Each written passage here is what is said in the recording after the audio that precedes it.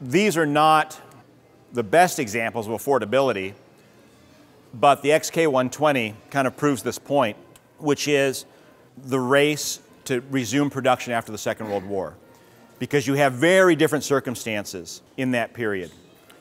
The United States emerges virtually unscathed. Um, they have a massive infrastructure. Um, they get back to production very quickly. Uh, Germany and Italy, of course, are somewhat in tatters, but they have Marshall Fund money to help rebuild their industries. The French are undergoing this a governmental change where you have a government dictating what private industry is going to build, and then you have the British who are literally starving to death. And oddly enough, even though one of the nominal victors of the Second World War, Britain is in far worse shape than any of the other nations. Um, and Ian, you're probably not old enough, but you might just be. Um, the United States government ended um, financial assistance under Lend Lease without warning to the British government, um, which caught them by surprise. And it just so happened that the winter of 1946 was the worst winter in recorded British history. And so people were literally starving to death.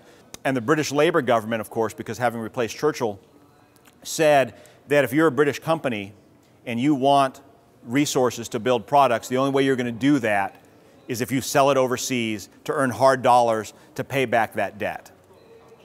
Um, and Britain, interestingly enough, is the only country to have paid off its debt uh, in the 2000s. Um, from an American loan.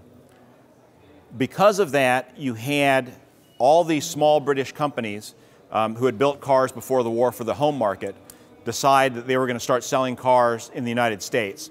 And you had, fortunately, a lot of American servicemen who had been exposed to these strange little contraptions. And the first of these was the MGTC, which is really a pre war um, MGTB with a slightly widened body. We always think that the, the TC is essentially the exact same car they built before the war, and it really is, except it's built on new tooling because all the existing tooling for the TB was destroyed during the Coventry Blitz because the body tools were held at Bodies Branch in Coventry. So the TC kind of paves the way. It's affordable, it's different. Of course, if you've driven a TC and I say it handles well, you're going to think I'm lying. But compared to an American car from that era, it actually handled somewhat better.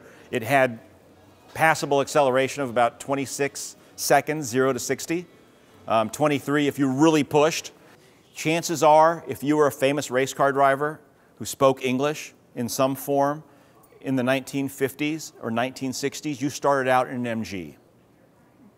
Phil Hill, Carroll Shelby, almost everybody started out in MGs because they were cheap and you could fix them yourself. But the TC paves the way for the XK120, which appears in 1948. During the war in Coventry at Jaguar's headquarters, William Heynes and, and Walter Hassan and William Lyons designed an engine for use after the war that would be known as the XK. And they originally designed it in several forms. Um, there was a four-cylinder version, various six-cylinder versions. But it was designed, of course, to be put into a saloon, which is a sedan, after the war because that earns more money. And when it was delayed and they couldn't get it done in time, they decided they were going to build a sports car with it, which became the XK120. And when it appeared in 1948, it was not only incredibly fast, because the 120 referred to its top speed, it was incredibly cheap. Um, it was affordable, it was stylish, um, it was everything people were looking for in that era, and it really cemented Britain's place um, in the immediate post war world as a producer of sports cars. This, next to the XK120, is a Jaguar E-Type. It's really a development of the Jaguar D-Type, which was a race car that won at Le Mans in the mid-1950s. All you have to know about the Jaguar E-Type is that Enzo Ferrari called it the prettiest car ever built. It was so popular when it was introduced in Geneva, there was no hope that Jaguar would be able to supply enough to meet the demand. And when a, young producer named Cubby Broccoli was going to do a film series starring a secret agent named James Bond, there was only one car that he was going to drive, which is a Jaguar E-Type. And you think to yourself, that's not right, because James Bond doesn't drive an E-Type.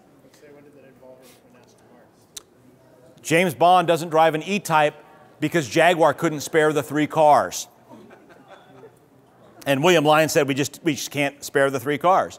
Um, and so they went to Aston Martin, who was more than happy to supply him with, a vehicle, with three vehicles for the movie. The same situation repeated itself several years later when the Saint television series was being produced for Roger Moore. The producers asked Jaguar for later editions of the E-Type, and they said, we can't spare them, and he got a Volvo 1800 instead. The shape of the E-Type, even though it was styled, was not necessarily styled by a designer because the body shape was the product of a guy named Malcolm Sayer. And Malcolm Sayer, if you asked him, said he was an aerodynamicist. He spent World War II in the Iraqi desert where he shared a tent with a German mathematics professor. You can't make this stuff up, you really can't. Um, the German mathematics professor taught him how to do computer aided design except the computer hadn't been invented. So he did all of the calculations in longhand, doing point analysis to determine the most efficient shape to achieve a targeted speed. His technique was so advanced that it took Cambridge researchers almost 40 years to recreate the math that he did to do what he accomplished. Rather than just use simple wind tunnel testing, Malcolm Sayer and Jaguar's test driver, a guy named Norman Dewis, would go to MIRA, which was the British research facility where they had a test track, and they would stop on the way and buy skeins of wool, and they would cut off little strips of wool and tape them to the car, and they would drive around the track to observe what the wool did. And you would think, well, why can't you do that in a wind tunnel? Because the car under braking and the car under acceleration behaves differently, and they wanted to know every last detail. And so even though this is a really sensual shape, much of it was dictated by aerodynamic form. And of course, you know, to a younger audience, this is Austin Powers Jaguar. Um, but it is the quintessential British sports car, and it helps usher in a period that we call the swinging 60s. So the E-Type, along with the Mini, really kind of saved Britain again um, almost 20 years after the TC and the 120 had done it by making Britain cool. And you got to remember, during this time, Britain's really struggling. Their empire's gone, their economy is in tatters, um, and the thing that makes them hip again are mini skirts, Birkin bags, and the E type and the Mini. This contrasts really well with this. And it'd be nice to have an earlier example of the 911 or even a 356. It's a shame that many people kind of remember Ferdinand Porsche for Porsche because his career really spans the entire history of the automobile. Um, he was building cars in the very first years of the 20th century. He, of course, was at Mercedes-Benz um, and pioneered you know, several designs um, from the 130 to the 150 to the 170H. He is responsible, of course, for the design of the, the KDF wagon, um, literally the strength through joy car that becomes the Volkswagen Beetle. And the Beetle, of course, bursts the 356, which in turn spawns the 911, As indisputably brilliant as Ferdinand Porsche is, and hopefully no one's armed here, um, only a German, as smart as he was, would persist with a design that was so undeniably flawed. The original reason for putting the engine over the rear wheels in the Beetle was safety. They wanted the weight over the driving wheels to provide a solid platform. And remember, the Beetle was designed to be um, a, a mass transportation device for millions of Germans. And that was fine. The problem was once you turned the Beetle into a sports car in the 356, if you were to ask the most novice designer where is the worst place to put the engine, he would say over the rear axle. Because it is incredibly dangerous. So when you enter a corner too fast, in most cars, the way to get yourself out of trouble is to let off the gas.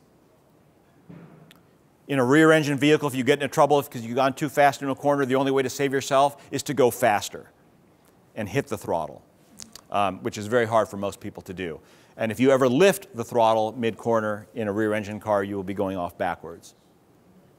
Rather than fix this and move the engine forward, Porsche spent several decades, almost six of them, until the on onset of electronic aids, to fix a design flaw that could have been fixed fairly easy, easily.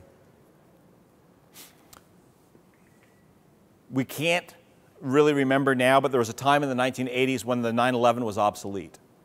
They were having trouble selling them. Um, Porsche had moved to several front engine designs. Um, and eventually it survives the 924, the 944, the 928, the 968, and becomes cool again. And the one advantage, and if you, if you are kind of in the community and you have seen places like Luftgekühlt and Werks Reunion and Legends of the Autobahn, and you, my God, these things are everywhere now, and the prices are 10 times higher than they ever had been. I think the 911's advantage is it doesn't matter how non-car person you are, you can identify a 911. I drove a nine, I bought a 912, a 67 short wheelbase 912 and drove it from uh, the East Coast to the West Coast. And I was driving through some wheat fields or whatever on I something. Um, and the sun was on one side of me and I could see my shadow in the wheat. And I could tell what that was from the shadow. And any 10 year old kid anywhere in the world can go, oh, that's a Porsche. And I think that's what its advantage is. And now, of course, um, they are exceptional machines, and they always have been built exceptionally. They are reliable, their engineering was impeccable, but even Porsche now, you'll notice, um, moves their engines forward um, for the Boxster and the Cayman. Um, and even now, you'll see them kind of optimally package this basic shape into a far more modern vehicle. When Carroll Shelby decided he wanted to produce his own sports car, he went to his old friend Donald Healey, with whom he had worked in the 1950s during record runs on the Bonneville Salt Flats. Unfortunately, BMC would not allow Shelby to get um, Austin Healey rolling chassis, and so he went to Thames Ditton, where a small company named AC was building the Ace, which itself, if you could see an original Ace side by side to this, the Ace, which was a John Tojeiro design, is really a copy of essentially a Ferrari 166 um, straight down to the oval grill.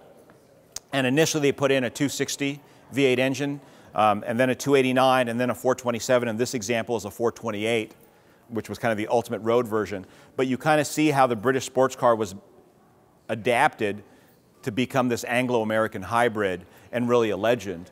And while all of us lust after the Cobra now, you have to remember that there were new Cobras unsold almost into the 1970s because they were so expensive um, and so difficult to insure and so difficult to keep, uh, to keep maintained.